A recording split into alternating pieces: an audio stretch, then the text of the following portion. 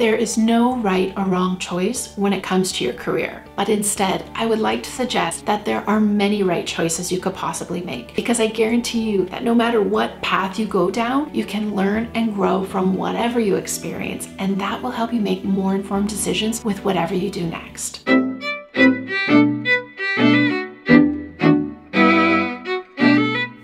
Career path should you choose? Or what should you major in in college or university? Well, first of all, there isn't one right, perfect answer to this, which I'm sure will be super frustrating for you to hear. But instead, there are many answers to these questions that could be good options for you. And in this video, I'm going to share with you various questions you can ask yourself that will help you clarify what you might be interested in. And I hope you'll keep watching right until the end, where I'll introduce you to four important mindset shifts you can use to help remove some of the stress and pressure you you're experiencing in making this decision.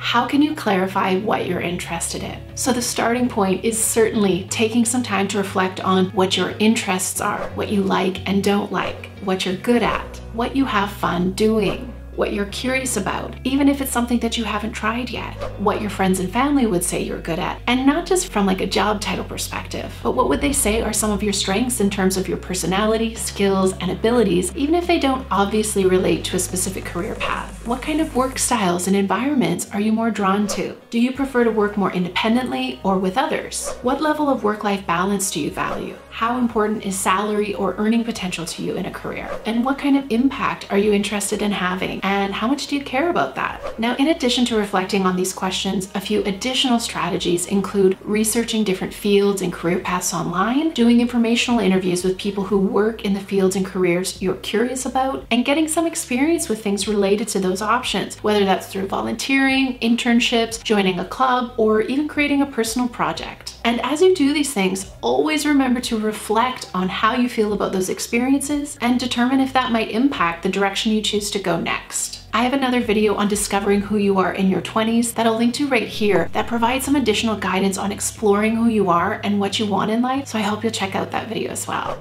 What mindset can I use to help remove some of the stress and pressure with this decision? First, I want you to remind yourself that our careers are not linear. It's not a straight path from one thing to the next. In this day and age, it's quite rare for someone to study something in a university and then work in that same field after graduation until they retire. Now, I think that most people have accepted that there will be a certain amount of career transitioning in our lifetimes between different fields and that that happens for a lot of people and that there's absolutely nothing wrong with that. Those transitions really just reflect that our interests change over time, which is normal and healthy. However, I think that a lot of people struggle when that transition happens early on, like say right out of university. For example, say we've studied a certain subject in college, but as soon as we graduate, we realize that we're not actually interested in working in that field anymore and we want to transition to something else. I think that a lot of people feel very stressed about this. And I'm actually going to talk about this in more depth in my video next week, so I hope you'll subscribe to my channel and join me again for that. But in this video, I just want to emphasize that that is just another transition. It's normal and I would encourage you to embrace the change and don't panic. Second, I think it's important to acknowledge that whether you're currently a student or a young professional, there are career paths that exist in the world that you have never even heard of or considered at this point in time. And also, there are other career paths and fields that don't even exist yet that will appear in the future. When I was in my 20s, working in the coaching world was something I never could have imagined. Never mind creating a YouTube channel as a part of my business strategy. YouTube didn't even exist 20 years ago when I was a university student. So ultimately, the best decision that you can make for yourself will be based on what you know about yourself right now and what your goals are for the future. However, never forget that your interests, likes, and dislikes will evolve over time, which means that the most important thing is not to expect to pick the perfect university major or to pick the perfect post-grad job because perfection simply doesn't exist and change is inevitable, which means that the most important thing in making this decision and in making any and all future decisions about the direction of your life and how and where you want to spend your time is to become a person who is adaptable and resilient in navigating anything that comes your way. To become a person who sees the value and learning that can come from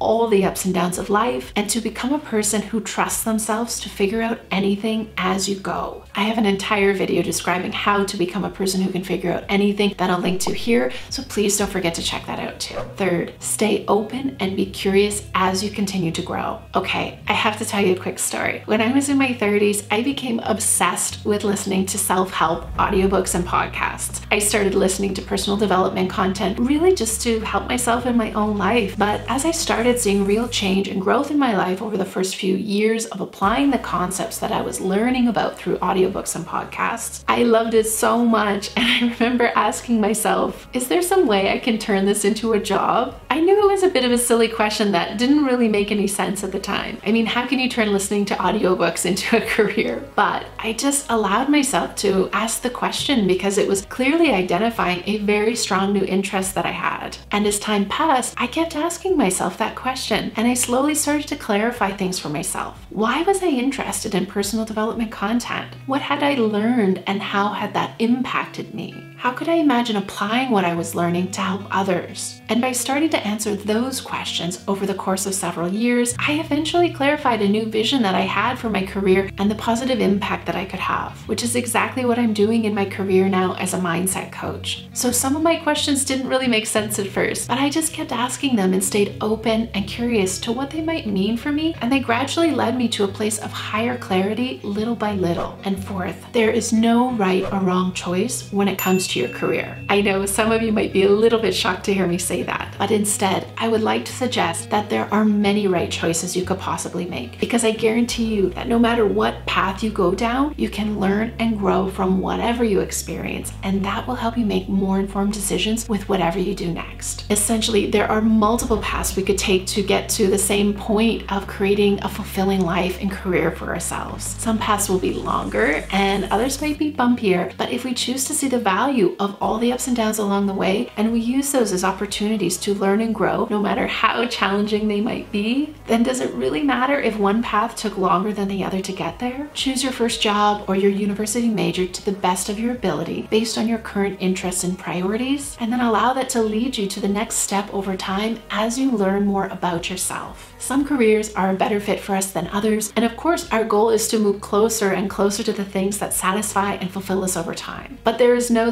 such thing as a perfect career. And keep in mind that someday, even if you land something that resembles your dream career at that time in your life, as you continue to grow and evolve, so will your career aspirations, and you'll continue to set new goals for yourself. Look, this is all a balancing act between analyzing what your current interests and strengths are, but also being able to look at your life experiences from a much higher perspective to realize that at 20 years old, your life experiences are still quite limited, and that as you learn about and try new things, some of those things might have the potential to fundamentally change the direction of your entire life and career. And that some of those things might not happen until 10, 20, 30 years from now. But in order to get to those new experiences, which will will lead to this new perspective, you have to start by making a choice to do something and just get started right now. And whether you end up sticking with your first choice or not, with this new mindset, I hope you can see now that there is no such thing as a wrong decision. Now, it might feel like it at the moment, but that doesn't mean that your first decision was wrong just because the path you took might have had some challenges. Because if you had never made that decision and put yourself in a place to learn and experience what you experienced through that, you never would have come to the conclusion that you have a new interest in something else. So instead of being frustrated about that and telling ourselves that we wasted time and money and made the wrong decision, instead, let's be grateful for that experience and the learning that came from it. Let's appreciate it and be proud of ourselves for embracing this crazy developmental process where we have to actually try things out in order to clarify who we are and what we want in our lives. Okay, I have another video you can check out on how to make the most of your 20s that I'll link to on the screen for you.